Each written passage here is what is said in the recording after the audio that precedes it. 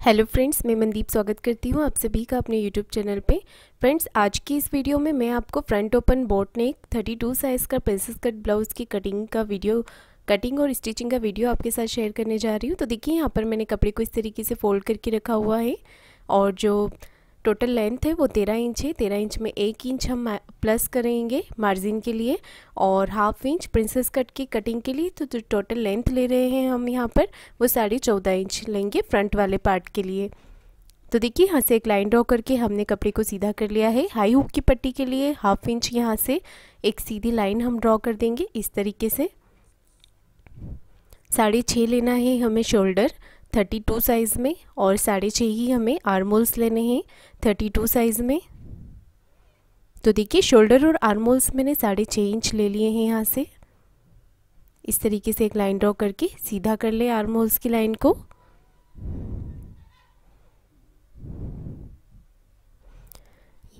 Thirty two size का fourth part हम लेंगे आठ इंच, दो इंच एक्स्ट्रा मार्जिन लेंगे। मार्जिन आप अपने अकॉर्डिंग भी रख सकते हैं। और आर्मोल्स की गोलाई को इस तरीके से कर दें। कमर 26 है तो 26 का चौथा भाग हम साढ़े छः इंच लेंगे, दो एक्स्ट्रा मार्जिन दो इंच का ले लेंगे और इस तरीके से एक लाइन ड्रॉ करके सीधा कर लेंगे। अब यहाँ पर प्रिंसेस कट कटिंग के लिए मैंने एक इंच आर्मोल साइड से लिया है और कमर की साइड से दो इंच एक्स्ट्रा ले लिया है। हाफ़ इंच से थोड़ा कम हम शोल्डर डाउन कर देंगे। तो देखिए यहाँ पर फ्रंट पार्ट की मार्किंग हमारी कंप्लीट हो गई है। अब हम इसे कट कर लेंगे। यहाँ पर आर्मोल्स की गोलाई अभी नहीं दी है मैंने, वो हम स्टिचिंग के टाइम पर देंगे।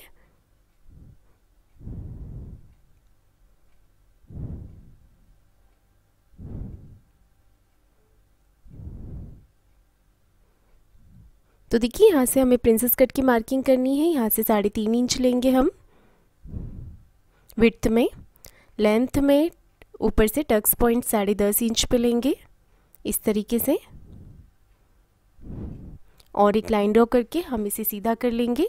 ऊपर से आर्म होल्स की साइड से हम इसे मिला देंगे। तो देखिए, पाँच इंच आ रही है ऊपर से लेंथ हमारी। तो यहाँ से इस तरीके से इसे मिला दीजिए।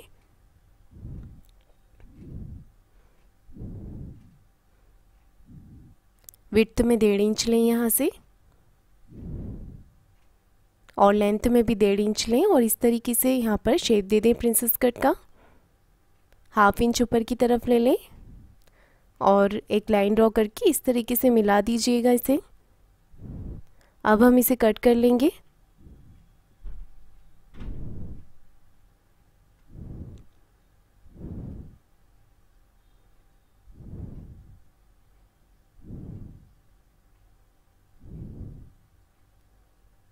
नीचे से भी कट कर लें इस तरीके से।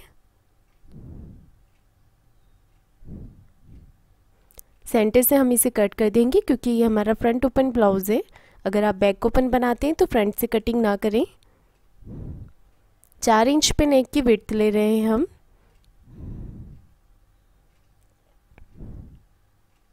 लेंथ आप अपने अकॉर्डिंग भी रख सकते हैं, थोड़ी बढ़ा भी सकते हैं। मैंने यहाँ पर साढ़े पाँच इंच ली हुई है।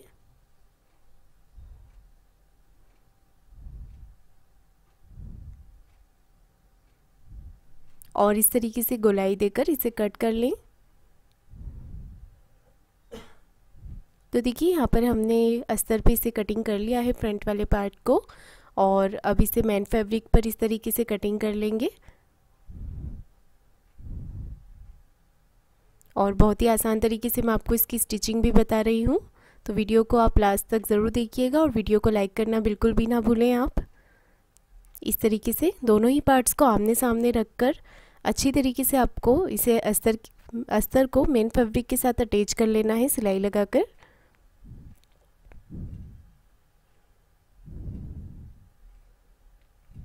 यहाँ पर हमने सिलाई लगाकर इसे कंप्लीट कर लिया है। जो एक्स्ट्रा फैब्रिक निकल रहा है, आप उसे कट कर लें और सेम इसी तरीके से दूसरा वाला पार्ट भी तैयार कर लें।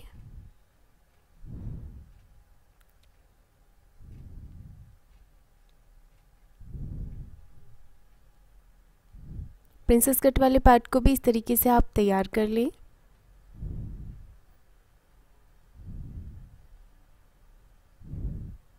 एक्स्ट्रा कपड़े को कट कर लें।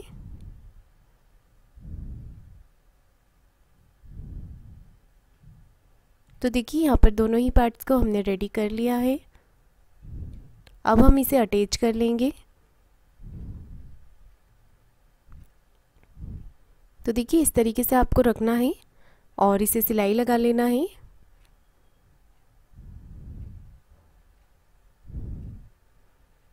बिल्कुल आराम से आपको सिलाई लेनी है ताकि अंदर की तरफ़ कोई भी क्रीज ना रहे, सल ना आए और कपड़े को खींचना बिल्कुल भी नहीं है साथ साथ रख कर आपको सिलाई लगा लेनी है। ऐसा नहीं है कि ऊपर से कपड़ा हमारा छोटा पड़ रहा है तो आप उसे खींच के बराबर करें।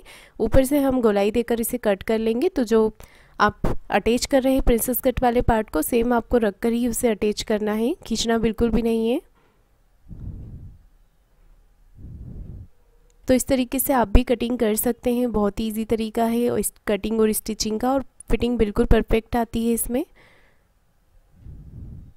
तो यहाँ पर हम दो सिलाई लगाकर इसे कंप्लीट कर लेंगे। और बहुत ही अच्छा पफ आया है इसमें। तो देखिए, यहाँ पर दोनों ही पार्ट्स को इस तरीके से बराबर कर दिया है मैंने। आर्मोस गुलाई के लिए और हाफ़ इंच जितनी यहाँ से गुलाई कर देंगे। ऊपर से सिलाई लगा लेंगे। तो फ्रेंड्स प्रिंसेस कट में आपको इसी तरीके से गुलाई देनी होती है, ये वाले पार्ट्स अटैच करने के बाद। परफेक्ट गुलाई हो गई है हमारी यहाँ पर। अब हम हाई हुक की पट्टी अटैच करेंगे तो मैं यहाँ पर हाई की पट्टी बना रही हूँ। यहाँ पर मैंने ढाई इंच जितनी चौड़ी पट्टी ली हुई है और इसे अस्तर के कपड़े के साथ अटैच कर लिया है।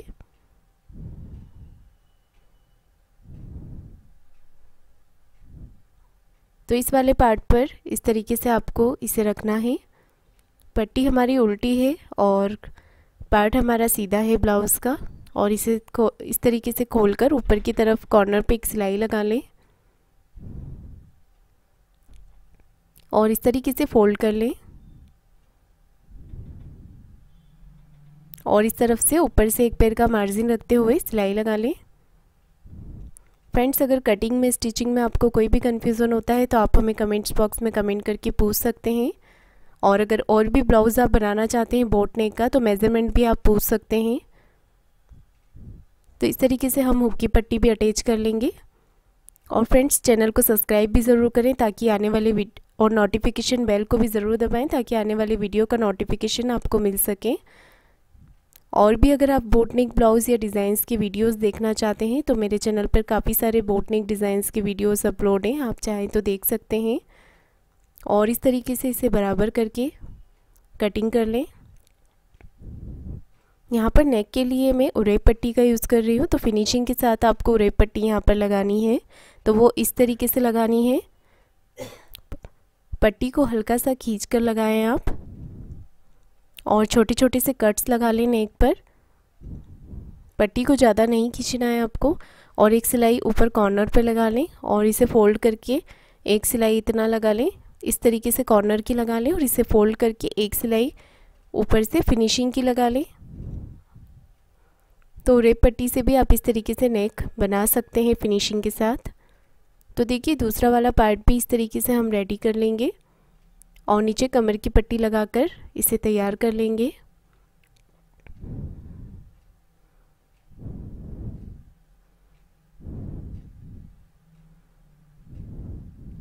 दोनों ही पार्ट्स में कमर की पट्टी लगाकर आप इस तरीके से रेडी कर लें।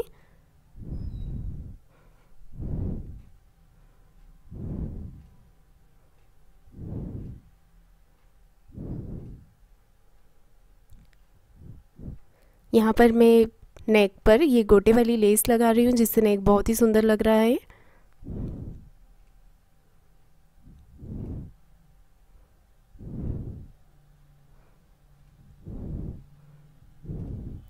तो देखिए फ्रेंड्स यहाँ पर हमारा ब्लाउज़ कंप्लीट होने वाला है। इसका फाइनल लुक भी मैं आपको दिखाने वाली हूँ लास्ट में। तो देखिए, यहाँ पर ब्लाउज़ कंप्लीट हो गया है। ये वीडियो आपको कैसा लगा है कमेंट करके ज़रूर बताइएगा। वीडियो को लाइक, शेयर ज़रूर कीजिएगा और चैनल को सब्सक्राइब ज़रूर करें। धन्यवाद।